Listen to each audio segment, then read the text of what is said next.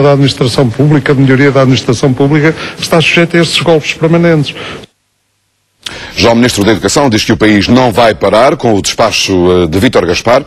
Nuno Crato garante que as situações de emergência das universidades e politécnicos vão ser resolvidas. O Presidente do Tribunal de Contas lembra, entretanto, que a decisão não pode ameaçar a qualidade dos serviços públicos. Para Nuno Crato, o despacho do Ministro das Finanças não vai parar o país. E na educação, garante o Ministro, as situações de emergência não vão deixar de ter resposta.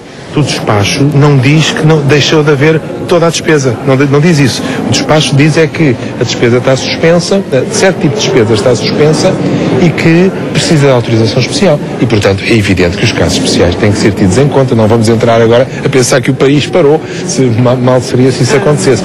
Um despacho de emergência com vida curta, diz o Ministro, mas suficiente para ameaçar o normal funcionamento das estruturas de ensino, alerta o Conselho de Reitores das Universidades Portuguesas. E os efeitos podem começar a notar-se muito em breve. Eu tenho informações uh, de, de, cantinas que, pelo que me dizem, não aguentam dois, três dias abertas e, portanto, eu diria que isto é algo que tem que durar um tempo muito curto. Congelamento da despesa que o Presidente do Tribunal de Contas considera compreensível, mas que tem de ser feito cirurgicamente, na ótica do desperdício, para não pôr em causa a qualidade dos serviços públicos. É fundamental que a reforma do Estado, qualquer que ela seja, não ponha em causa a qualidade dos serviços públicos.